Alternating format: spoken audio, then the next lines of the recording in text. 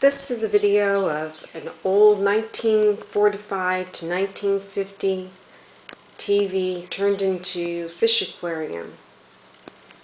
As you can see, back then it was called a custom high fidelity TV. And now it is a fish tank.